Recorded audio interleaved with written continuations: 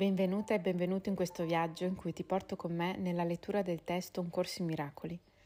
Oggi iniziamo il quinto ripasso e adesso ti leggerò il testo introduttivo da ascoltare e riascoltare durante la pratica perché crea uno spazio recettivo, uno spazio fertile a queste parole e ci permetterà di andare al di là di esse, fino ad arrivare al loro vero significato ci permetterà di fare un'esperienza più profonda di qualcosa che abbiamo già letto e ci sembra di aver già vissuto. Possiamo andare al di là. Perché queste parole non sono altro che aiuti e sono utili per ricordare alla mente il suo scopo. Però la vera esperienza è sempre al di là di esse. Iniziamo. Introduzione al quinto ripasso. Ora ripassiamo di nuovo. Questa volta siamo pronti a dedicare uno sforzo maggiore e più tempo a ciò che intraprendiamo. Riconosciamo che ci stiamo preparando per un'altra fase di comprensione.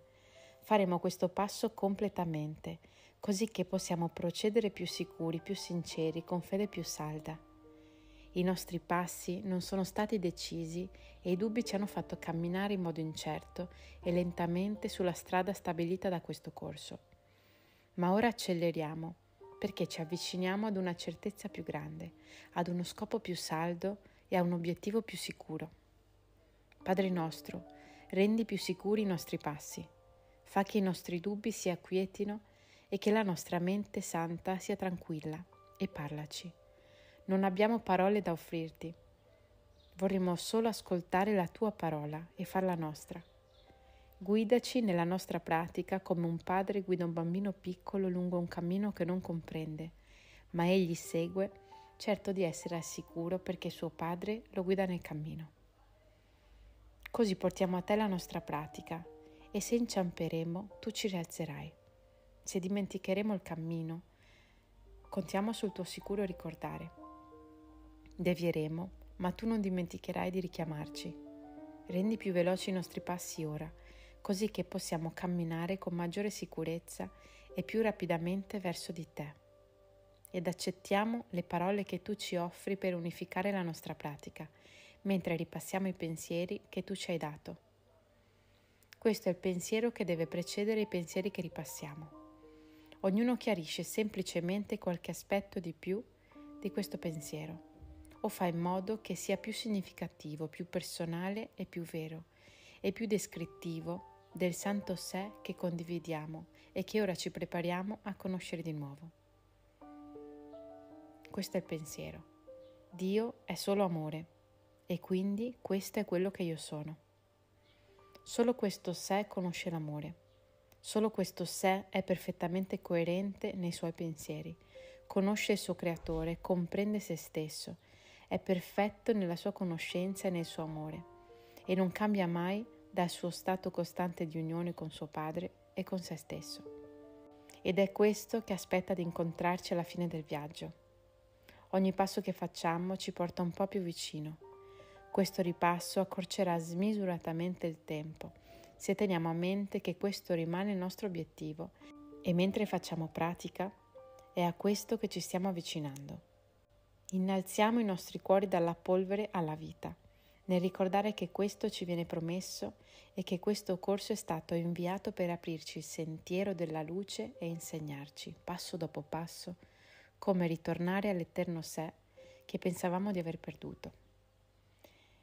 Io compio il viaggio con te, perché per un po' condivido i tuoi dubbi e le tue paure, affinché tu possa venire a me che riconosco la strada attraverso la quale vengono superati tutti i dubbi e tutte le paure. Camminiamo insieme. Io devo comprendere l'incertezza e la sofferenza, anche se so che non hanno alcun significato. Tuttavia, un Salvatore deve rimanere con coloro a cui insegna e vedere ciò che essi vedono, pur serbando nella sua mente la strada che lo ha condotto fuori e che ora ti condurrà fuori con lui. Il figlio di Dio non sarà crocifisso finché tu non camminerai lungo la strada con me. La mia risurrezione avviene di nuovo ogni volta che conduco un fratello al sicuro nel luogo dove il viaggio finisce ed è dimenticato. Io mi rinnovo ogni volta che un fratello impara che c'è una via d'uscita alla sofferenza e dal dolore. Rinasco ogni volta che la mente di un fratello si rivolge verso la luce in lui e mi cerca. Non ho dimenticato nessuno. Aiutami ora a ricondurti nel luogo dove il viaggio fu iniziato, per fare con me un'altra scelta. Liberami mentre fai pratica un'altra volta, con i pensieri che ti ho portato da colui che vede il tuo amaro bisogno e conosce la risposta che Dio gli ha dato. Insieme ripassiamo questi pensieri, insieme dedichiamo ad essi il nostro tempo e il nostro sforzo ed insieme li insegneremo ai nostri fratelli. Dio non vuole che il cielo sia incompleto, egli ti aspetta, come ti aspetto io. Io sono incompleto senza la tua parte in me. E nel momento in cui vengo completato, andiamo insieme alla nostra antica dimora, preparata per noi prima che esistesse il tempo e mantenuta inalterata dal tempo, immacolata e sicura, come sarà alla fine quando il tempo sarà compiuto. Che questo ripasso sia quindi il dono che mi fai, perché solo di questo ho bisogno, che tu voglia udire le parole che pronuncio e le doni al mondo.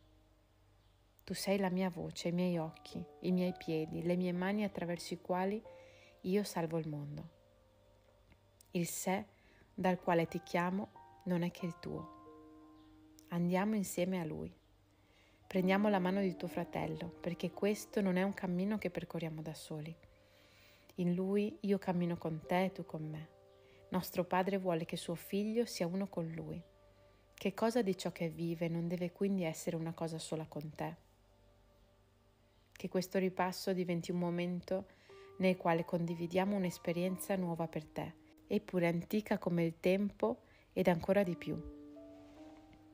Sia santificato il tuo nome la tua gloria senza macchia per sempre, ed il tuo completamento sia ora totale, come Dio lo stabilì. Tu sei suo figlio, che completi la sua estensione con la tua. Noi pratichiamo semplicemente un'antica verità che conoscevamo prima che l'illusione sembrasse reclamare il mondo. E ricordiamo al mondo che esso è libero da tutte le illusioni ogni volta che diciamo Dio è solo amore e quindi questo è quello che io sono. Con questo iniziamo ogni giorno il nostro ripasso. Con questo iniziamo e terminiamo ogni periodo di pratica. E con questo pensiero dormiamo, per svegliarci ancora una volta con queste stesse parole sulle nostre labbra, per salutare un nuovo giorno. Ogni pensiero che ripassiamo lo circondiamo con esso ed usiamo i pensieri per trattenerlo nella nostra mente e chiaro nel nostro ricordo per tutta la giornata. E così, quando avremo terminato questo ripasso, avremo riconosciuto che le parole che pronunciamo sono vere.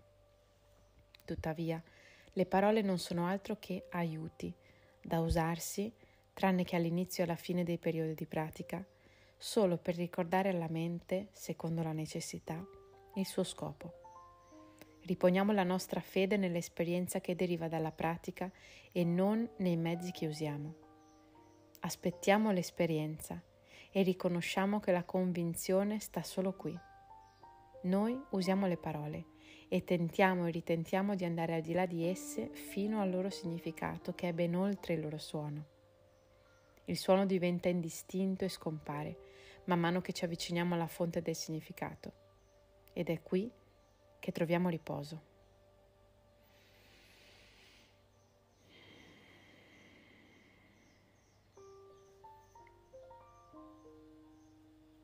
Al punto 9 dice, il sé dal quale ti chiamo non è che il tuo. Io ti invito, ci invito ad andare al di là delle parole, di quelle parole che forse ancora ci creano contrazione, e andare al di là. Perché quando leggo il sé dal quale ti chiamo non è che il tuo, è come se la vita iniziasse e finisse in te, perché tu sei la vita e la vita è te. Non c'è niente di separato. Tu non sei una persona con un corpo che vive qui e ha determinati valori, ha determinati obiettivi, ha una determinata funzione, ha una determinata forma, un determinato carattere. Tu sei molto di più. E questo senso che tutto inizia e finisce con te da un senso di infinito, qualcosa che non può essere descritto a parole né concepito dalla mente pensante dell'ego. Andiamo al di là. In questa lezione di introduzione al ripasso sono chiare due cose. Una è che non siamo soli, c'è qualcosa di più grande che ti tiene la mano. C'è qualcosa dentro di te che ti fa rimanere qui e che ti accompagna. Dio, quella parola che leggi nel testo, non è qualcosa di lontano. Lascia che ci sia qualcosa che ti guidi dentro, come dice il testo, come un padre che guida suo figlio per un cammino che non conosce, ma comunque si sente sicuro. Ricordiamo che esiste qualcosa di perfetto, un amore perfetto, esiste uno spazio di silenzio, esiste uno spazio senza giudizio, esiste uno spazio senza tempo e non è lontano, però non si può esprimere a parole. Però esattamente questo posto che non si può esprimere a parole è la tua casa, è la nostra casa è il nostro luogo sicuro.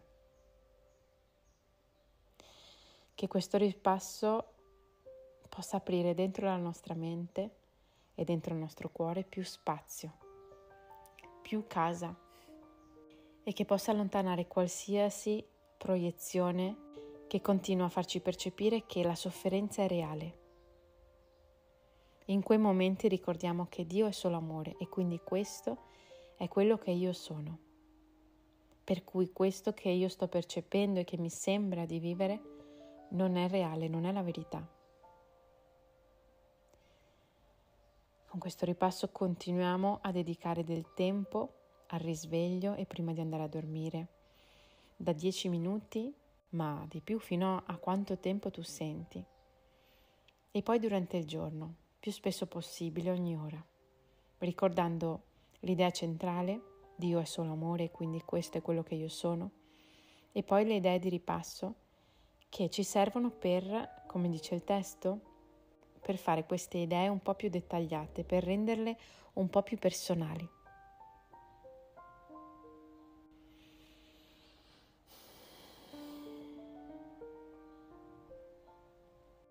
Dedichiamoci uno spazio di quiete per questo ripasso e ricordiamo che L'esperienza non è nelle parole, ma in ciò che c'è dietro. C'è qualcosa che sta molto più in là di esse che ci sta chiamando. Buon ripasso.